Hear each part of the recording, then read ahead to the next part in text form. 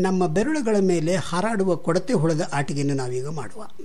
ಇದಕ್ಕಾಗಿ ರೆಟ್ಟಿನ ಮೇಲೆ ಚಿತ್ರಿಸಿದ ಕೊಡತೆ ಹುಳದ ರೆಕ್ಕೆಗಳ ಚಿತ್ರ, ಅದರ ಶರೀರದ ಚಿತ್ರ, ಬಣ್ಣದ ಪೆನ್ಸಿಲುಗಳು, ಪೇಪರ್ ಕ್ಲಿಪ್ಪು ಕತ್ತರಿ, ಗೋಂದು ಮುಂತಾದವು ಬೇಕಾಗುವು ಮೊದಲು ರೆಕ್ಕೆ ಹಾಗೂ ಶರೀರದ ಚಿತ್ರವನ್ನು ಅದರ ಆಕಾರದಲ್ಲಿ ಕತ್ತರಿಸಿ. ಆಮೇಲೆ ರೆಕ್ಕೆಗಳಿಗೆ ಚಂದವಾದ ಬಣ್ಣಗಳನ್ನು ಕೊಡಿ. ನಿಸರ್ಗದಲ್ಲಿ ಕಾಣುವ ಈ ಕೊಡತೆ ಹುಳುಗಳು ಬೇರೆ ಬೇರೆ ಬಣ್ಣದಲ್ಲಿದ್ದು ಅವು ಅಂದವಾಗಿ ಕಾಣುವವು. ಗುಲಾಬಿ, ನೀಲಿ ಈ ರೀತಿಯಾಗಿ ರೆಕ್ಕೆಗಳು ಇರುತ್ತವೆ.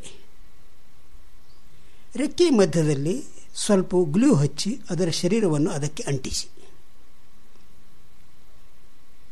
ಇದನ್ನು ಹೀಗೆ ಇದ್ದಂತೆ ಬೆರಳಿನ ಮೇಲೆ ಸಮತೋಲನೆ ಮಾಡಲು ಹೋದರೆ ಅದು ನಿಲ್ಲಲಾರದು. ಇದಕ್ಕಾಗಿ ರೆಕ್ಕೆಗಳ ತುದಿಗೆ ಪೇಪರ್ ಕ್ಲಿಪ್ಪನ್ನು ಕುಡಿಸಿ. ರೆಕ್ಕೆಗಳನ್ನು ಕೂಡ ಕೆಳಬದಿಗೆ ಮಡಿಸಿ. ಶರೀರವನ್ನು ಕೂಡ ಸ್ವಲ್ಪ ಮಡಿಸಿ. ಈಗ ನೀವು ಇದನ್ನು ನಿಮ್ಮ ಬೆರಳಿನ ಮೇಲೆ ಇಟ್ಟರೆ ಅದು ಸಮತೋಲನೆಯಲ್ಲಿ ನಿಂತು ಕೆಳಗೆ ಬೀಳಲಾರದು. ಸ್ವಲ್ಪ ಅಲುಗಾಡಿಸಿದರೂ ಅದು ಜೋಕಾಲೆಯಂತೆ ಆಡುವುದು.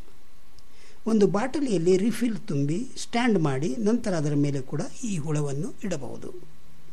ಗಾಳಿಯಿಂದ ಅದು ಹೊಯ್ದಾಡುವುದು. ಇದು ಒಂದು ಬಹು ಮೋಜಿನ ಆಟಿಗೆ ಬೆರಳಿನಿಂದ ಹಚ್ಚಿದರೆ ಅದು ತೂಗಾಡುವುದು. ಇಂತಹ ಒಂದೆರಡು ಚಿತ್ರಗಳನ್ನು ನೀವು ಈ ರೀತಿಯಾಗಿ ಅಂಟಿಸಬಹುದು.